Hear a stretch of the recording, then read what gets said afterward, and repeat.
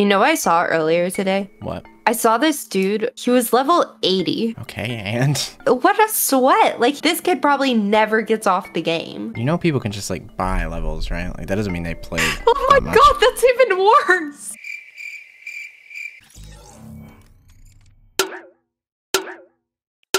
Wesley, how much money did you spend?